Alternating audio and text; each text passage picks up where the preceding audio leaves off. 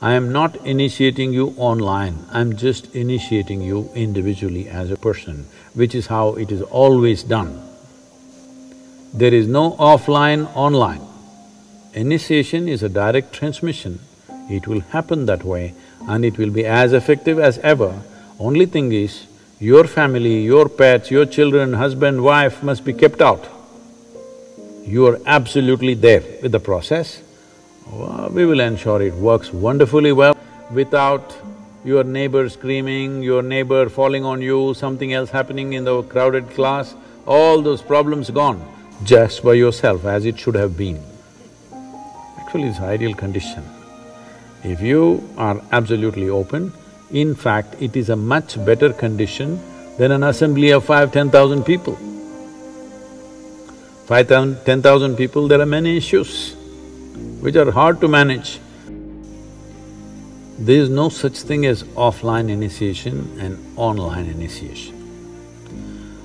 Initiation process, particularly for Shambhavi, is more like a consecration of a human form.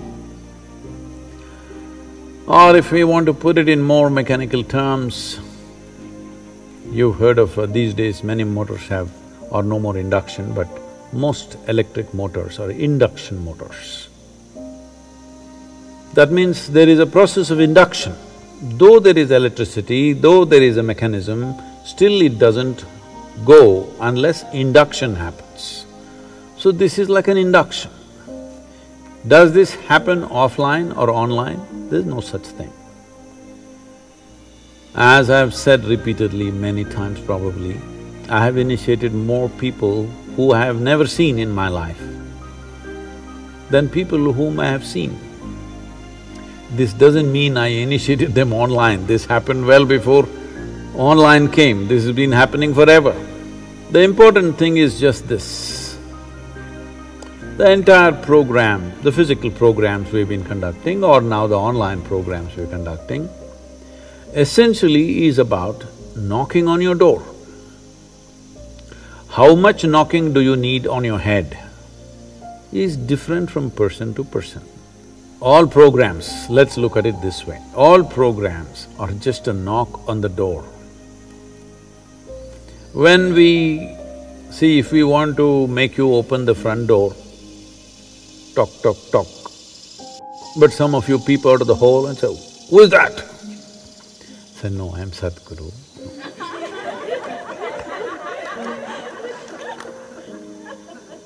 What do you want? No, I don't even want to enter your house, but just open the door. If you just open the door, I'll go away. No. Who is this guy saying, open the door? What do you want? No, I don't want anything. Then you're really dangerous. So, initiation is a transmission. Without transmission, there is no transformation. And transmission is not a transaction. A teaching is a transaction. In some way, it is a transaction. The physical presence of the Guru is actually a hindrance. Because right now, you look at me and no matter what, because the very nature of the mind is such, it is making a thousand judgments as it sits here, isn't it? Not all of it is conscious, but a whole lot of judgments are going on within you. Because there is a person. A person means you can like him, you can dislike him, you want him, you don't want him, so many things. If I say something nice, wow. If I say something nasty, mm. all this will happen, isn't it? Because a person is sitting,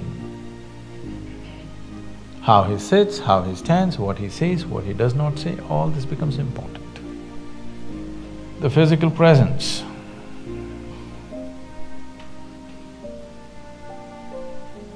is not of any consequence actually.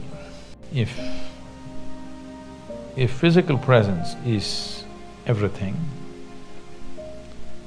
that's called charisma, not grace. This is not charisma, this is grace. But I sit here, I don't sit here, I can run the satsang the same way. Only problem is you cannot remain focused, that is your problem. If you… if you're willing to sit here, simply focused as you are right now. No video, no audio, no nothing. We'll still run the satsang wonderfully well, okay? It's just that… What? Nobody… what are you doing Because you have that problem, either I have to sit here, a video has to play, a audio has to come. I'll tell you, no video, audio, nothing. We can still initiate people if you're just willing to sit. It is just that the necessary attention is needed, that's all. Even without attention, in your sleep we can initiate you. But benefit may happen, but you don't know why it's happening. You think you just got lucky.